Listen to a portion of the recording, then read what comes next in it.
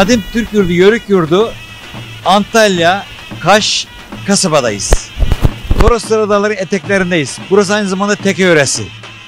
Buranın çalışkan, becerikli, eli kınalı, başı yazmalı, aşağılık elenmiş, çocuk doğurmuş, acı doyurmuş yörük analar var. Nuriye. Kara, Karakuru. kara, Karakuru kaldık biz. kara grup. Zaten karalardan geldim karalara vardım. Peki, eee aslen fakirce mi Ataş'ın başına koymuşlar seni? ne diyorsun param pulum yok ne diyorsun mecbur kaldım saçın başına yaktılar zaten kara olduğum için daha da Hırlı yak- kararacak. hırlı kararıyor diye yaktılar. Zaten Karakuru bir şeymiş. Evet Ee, başına yansın diye beyazlar ocağın kararmasın diye ben İsi, isiyle hırlı kararacak. Öyle ettiler. Peki bunlar hangisi güzel yazıyor? Hepsi güzel yazar. Arkadaşlarım, koğuşlarımız Allah razı olsun. Muhtarımıza yardım ediyorlar köyümüze. Şimdi bu ekmeği nereye pişiriyorsunuz?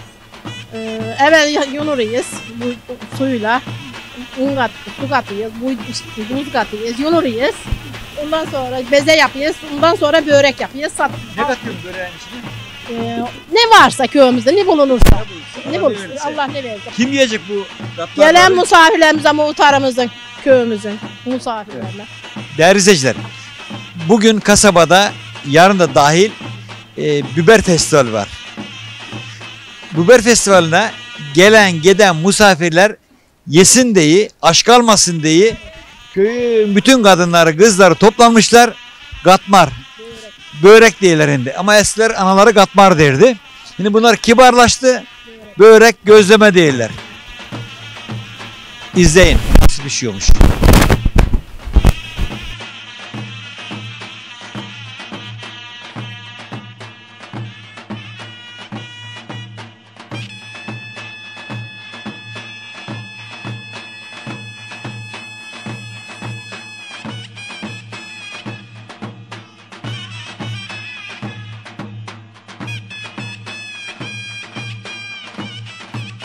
Antalya Kaş kasabanın 40 yıl ömrünü süren kadınla beraberiz.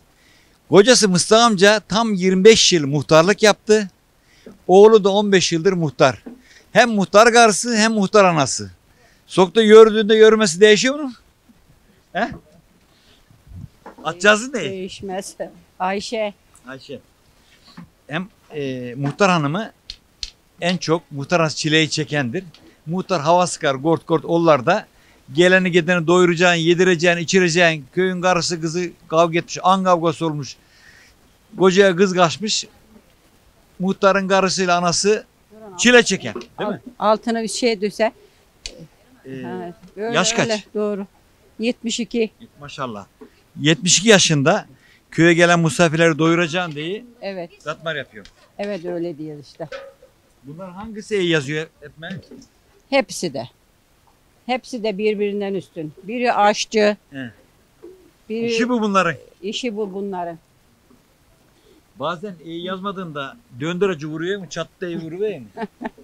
Hurmam hurmam. Olabilir her şey. Olabilir. Olabilir.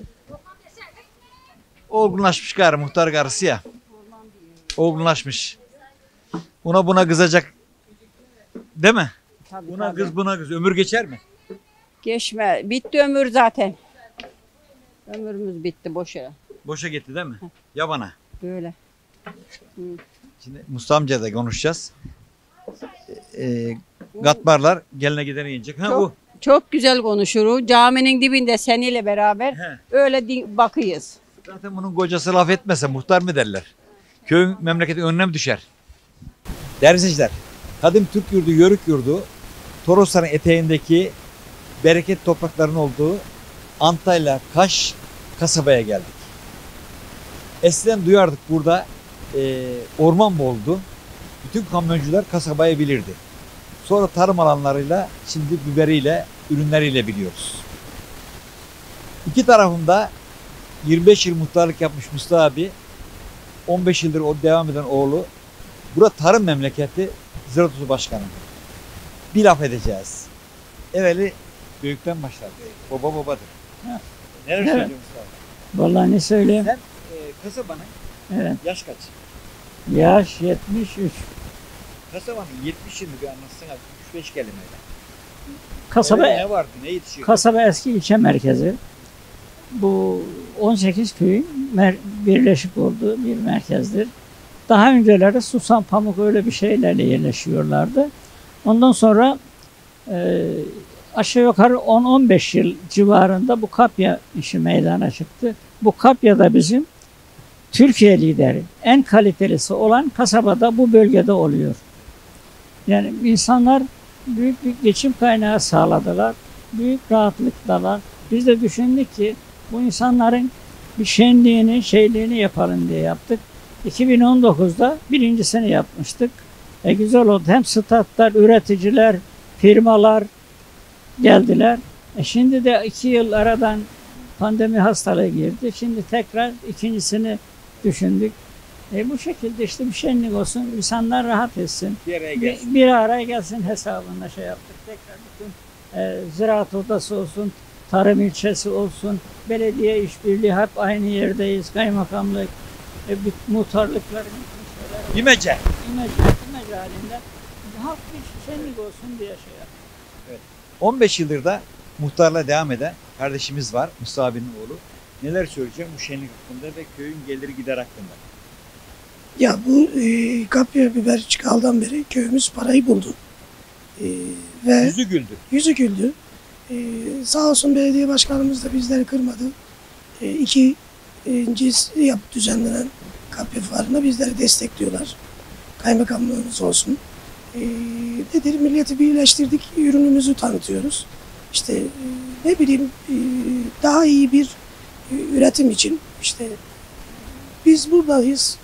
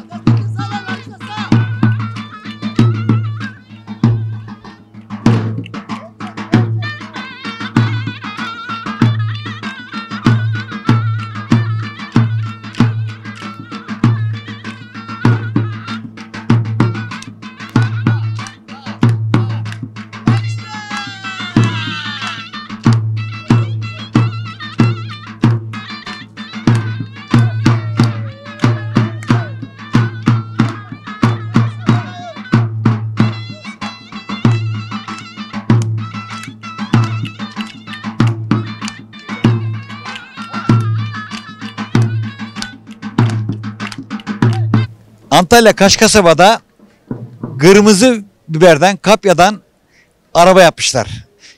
Plaka da koymuşlar. 07 kasaba.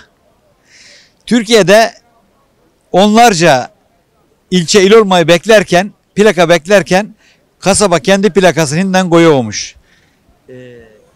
Eski ilçe merkezi kasaba.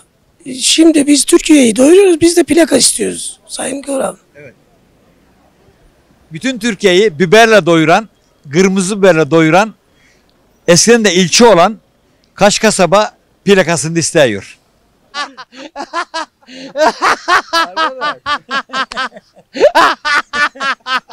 Oğlum duralı kime? Oğlum durma mı? Durmaz gayrı durmaz. Ne? Vallahi durmaz. Fren yok. Yok bana Tayyip Türkiye ağlar bu adam gülüyor ya. Dünya ağlar bu adam gülüyor.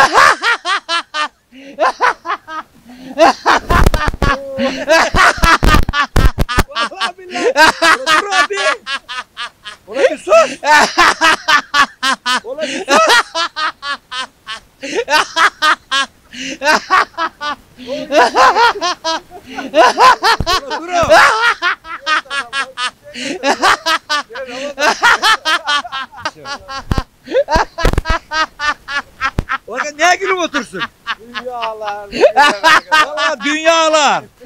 Ağlıyor. Bu adam gülüyor ya.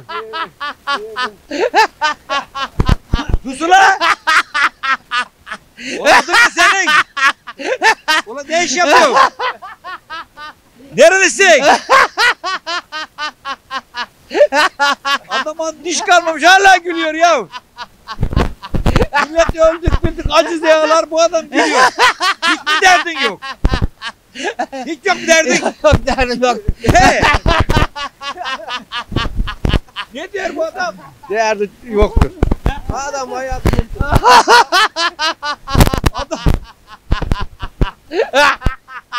Ola duru. Ola duru.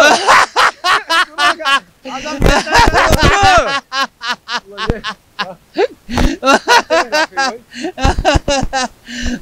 Duru ya. Su mu getirelim? Ne getirelim? Oğlum bu nasıl susacak bu adam? Susmaz bu adam. Kendi, Durma mı? Kendi durmaz. Kendi isterse öyle. Dil bitince adam duracak. Adı ne? Nerelisin? Ulan vay!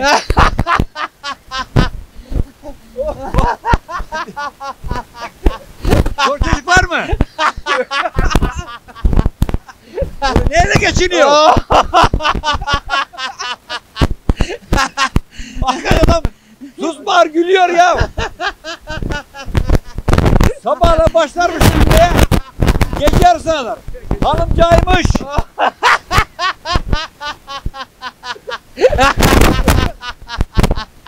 Ya Duru. Vay. Oğlum, Niye götüreceğiz? Ne edeceğiz bunu? Abi bunu kendi isterse öyle susar bu adam. Öyle mi? Ola sus! Ola gülme!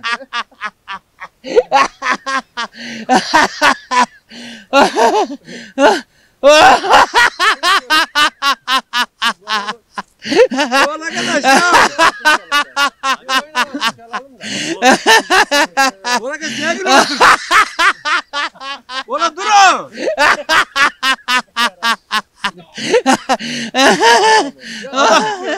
Ola bunu kucaklan geldin bari. Bu adam, bu adam ya türkü söyler ya. Türk söylesene. Başka yere gidelim. Hadi gidelim. Oh. Arkadaş akşama kadar gülüyor, sabah kadar gülüyor adam ya. Hadi gidelim. oh. Antalya Kaş kasabada kapya biberinin festivalindeyiz. Bereket topraklarda kaliteli biber yetiştiriyor. Biberin sırlarını ustalardan öğreneceğiz, işi bilenlerden öğreneceğiz. Sen tanıyalım. Merhabalar, e, ismim Süleyman Yıldırım, ziraat mühendisiyim. E, bu bölgede bu kapya bibere e, tohumundan yetiştiriciliğine kadar, üretiminden satışına kadar her bir şeyini takip ediyoruz.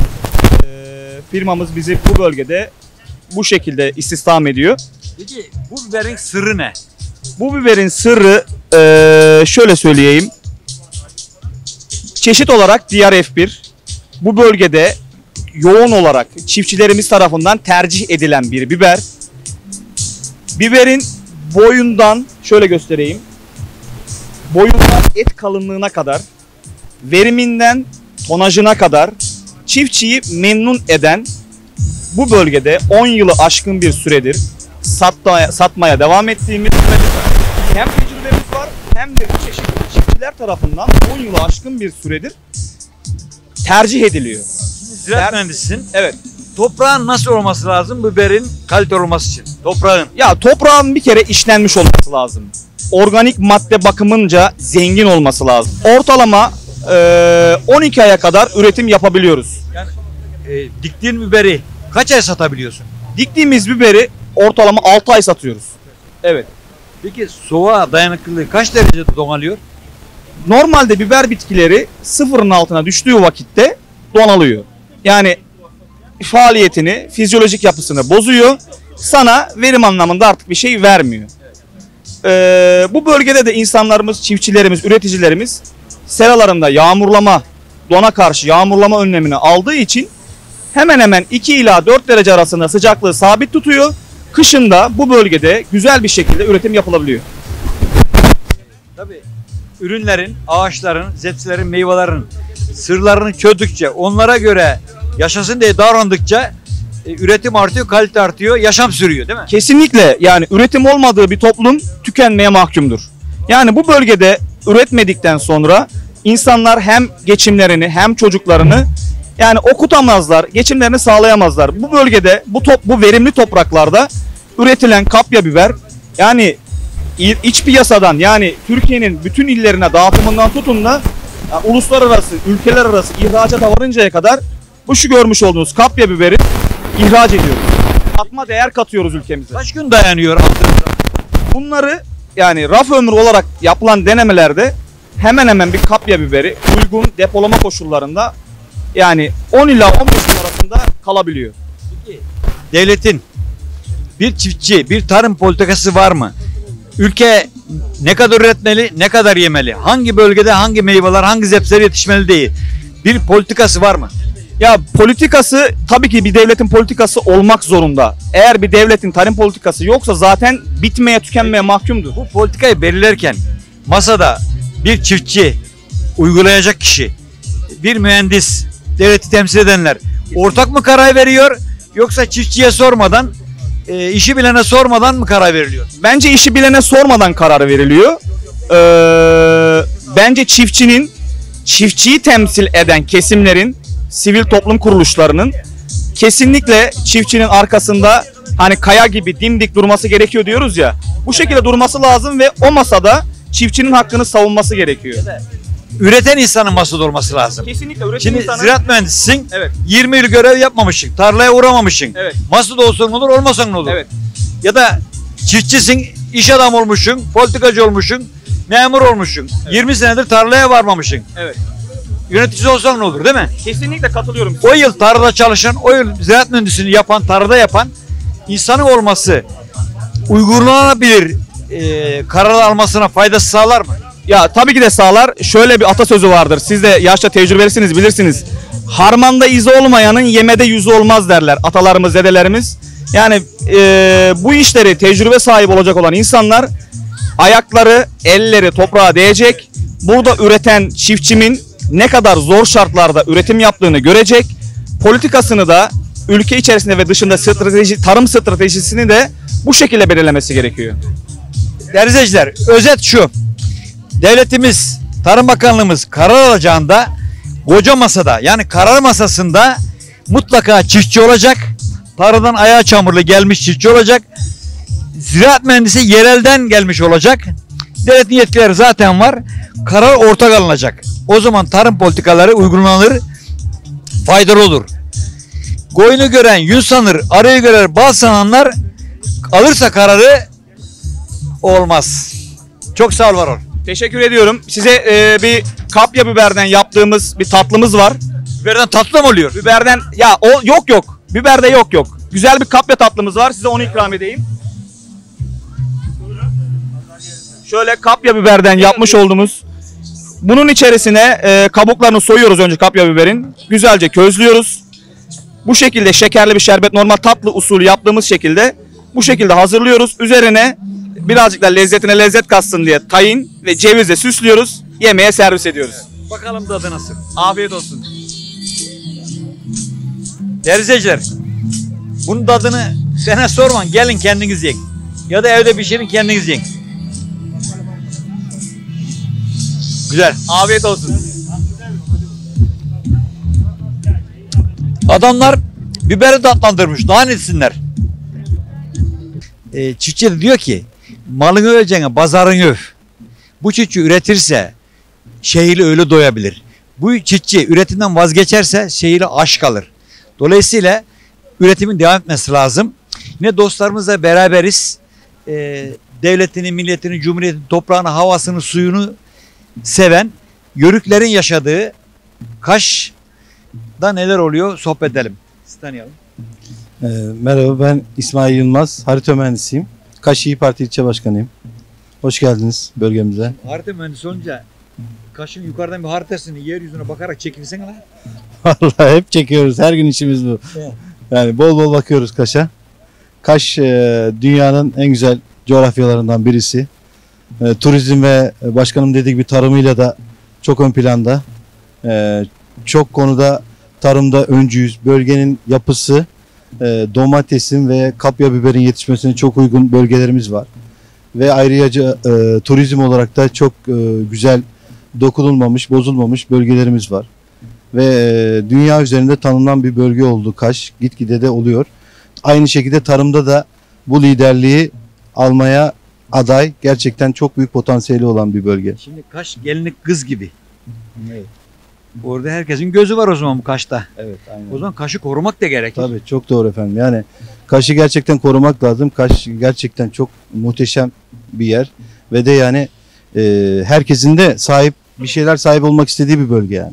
O yüzden e, turizmi geliştirmek istediğimiz kadar tarım alanlarımızı da korumak istiyoruz. Yani ikisini de dengeli bir şekilde yaparak insanlarımızın e, gelecekteki 50-100 yılında daha mesut ve refah içinde Kaş'ta yaşamasını istiyoruz. Yani Kaş Türkiye'mizin Yani çok güzel bir parçası. Kaş'ın evlatları Kaş'ta yaşayabilmeli. Tabii yaşayabilmeli. Evet. Çok Ee, doğru söylüyorsun. Ülkenin birçok yerinde değerli izleyiciler e, emlak fiyatlarının aşırı artması yerli halkın 300-500 yıldır 1000 yıldır orada yaşayan halkın çocukları ev yapamaz, tarla alamaz hale geldi. Böyle bir sorun var. E, yerli halk yerinde duramaz hale geldi. Türküsüz de olmaz. Ne dinleyelim Türk olarak? Valla benim bir türkü sevdiğim türkü var. Yazımı kışa döndürdün Leyla diye. Bilmiyorum bir arkadaşlarımız bunu dinlersek memnun oluruz. Bağrın yanık mı la? E, yanık olmasa da tabii yaşımız itibariyle artık yanmaya başladı. Unutamadın mı eskileri? Onu, onu, o eskiler unutulur mu? Ya, boy. Şimdi çok değerli bir sanatçımız var. Tanıyalım. Saygıdeğer misafirlerimiz, saygıdeğer konuklarımız hepiniz hoş geldiniz. Ben Mustafa Caner olarak size yazımı kısa çevirdiğimiz bir türküsü hitap edeceğim. Yazımı kışa çevirdin, yazımı kışa çevirdin.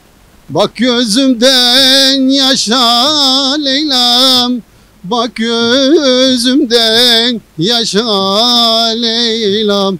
Yaşa Leyla'm, yaşa Leyla'm oy. Yaktın beni Yasin'emi, yaktın beni Yasin'emi.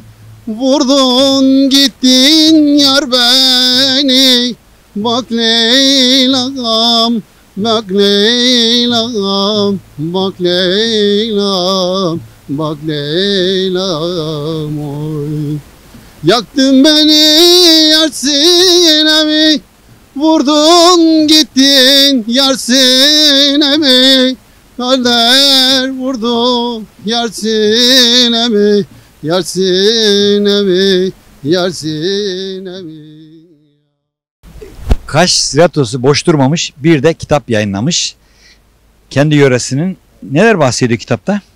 17. 18. yüzyıldaki Kaş'ın e, eski halinden kalma e, bütün e, ta- tarihi köylerini, eserlerini bu kitapta bulabilirsiniz. Yani 200 yıl öncenin Evet. evet. kaşı. Kaşı. Yani buradaki e, vatandaşlarımız, köylülerimiz geliyor, e, köyüne bakıyor. Benim dedem, atam kimlerden gelmiş? Buradan öğreniyor. Çoğunu da bulamıyorlar ha. Çünkü çok eskiden olduğu için o zaman soyadı kanunu yok.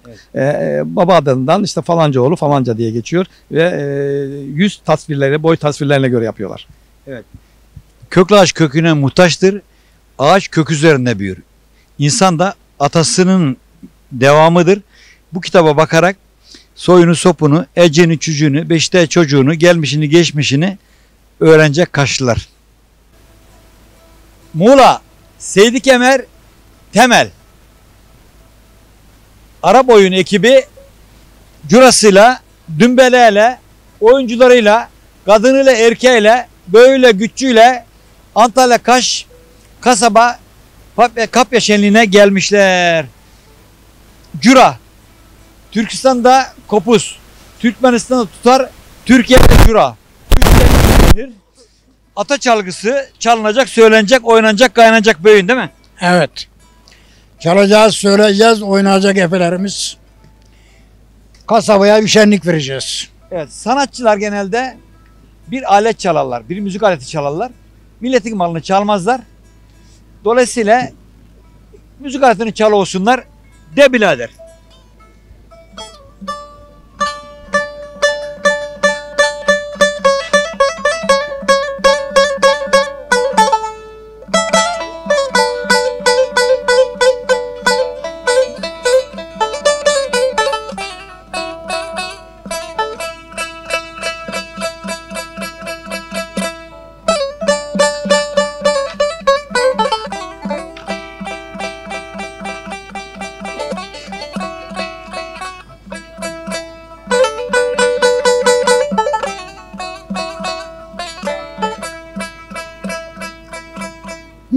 Ne ötersin de Bozada doku kardeş dalından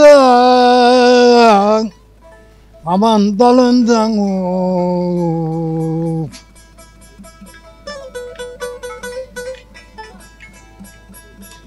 Yalnız mı da düştün adı kok Benim gibi yayla yolundan of Yayla yolundan of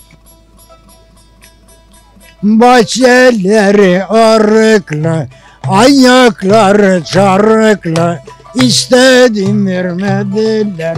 Geçti amalı yamalıkla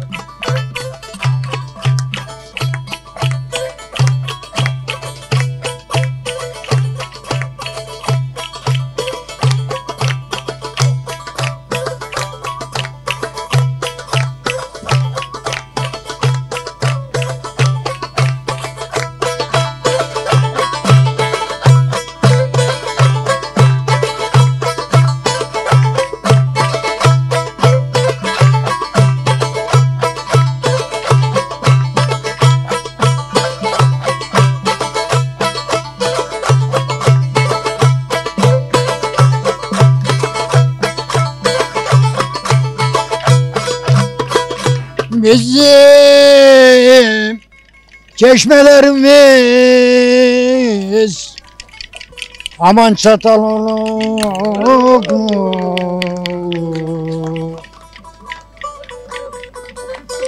Sen ne tarafa Ay elinde senin omuzların sırma melikli. Vay gelin Camdan aldım üstüne. Ormana sürdüm öküzü. Karafilli gelinin kokusu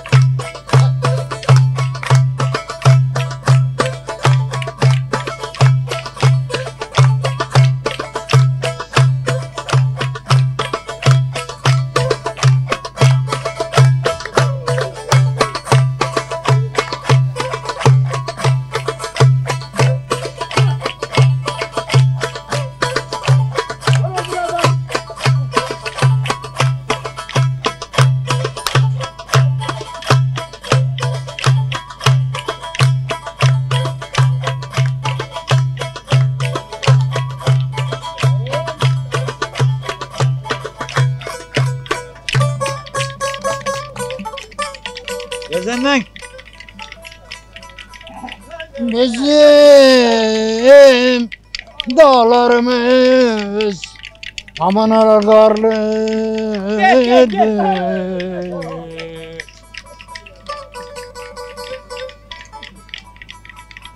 Acep arkadaşlar bizim gibi gurbet gezen var mıdır?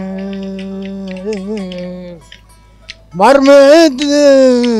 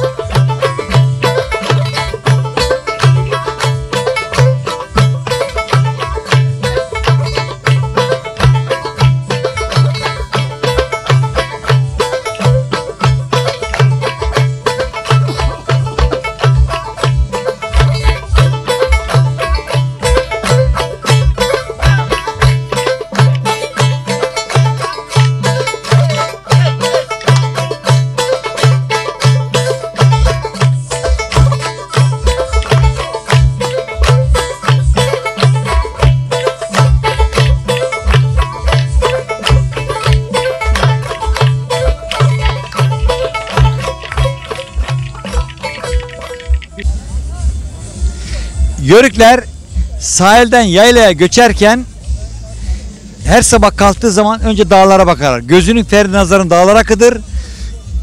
Çünkü nazara dağlar dayanabilir. Sonra çocuk hayvanların sonra çocuklarına bakar.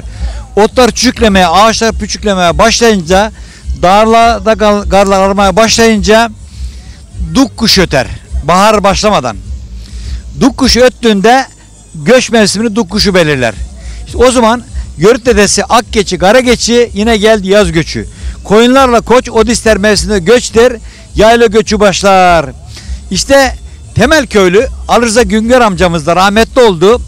Bu türküyü yazan adam eee, sevdiği yaylaya göçünce duk kuşuna kızmış.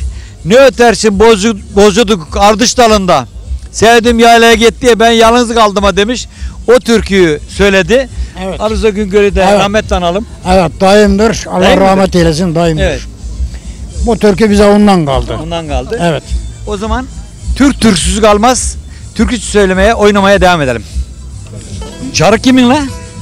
Ali Rıza dayımdan kaldı. Dayın Arıza Güngör'den. Evet, Ali Rıza Güngör. Allah rahmet eylesin. Cüran'ın ustasıydı. Oyun, Ee, Evet. Seni bir tanıyalım. Aksakalı salmışsın.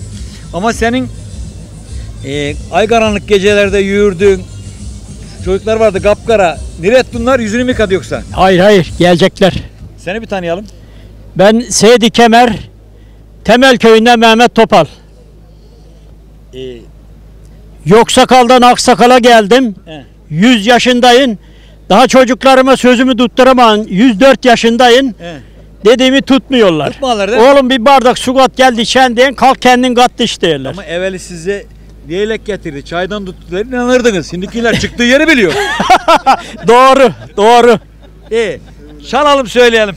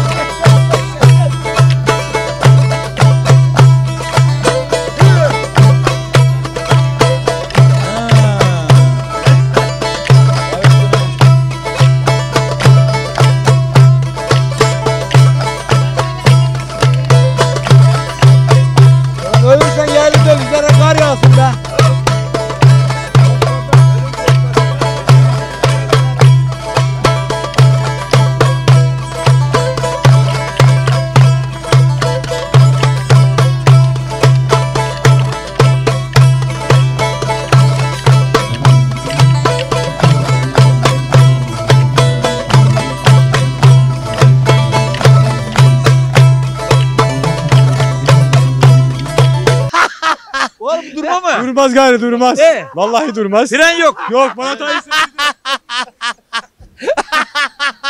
Türkiye ağlar bu adam gülüyor ya. Dünya ağlar bu adam gülüyor. Vay gelin Camdan aldım sakızı Var üstüne. Ormana sürdüm öküzü. Karafilli gelinin kokusu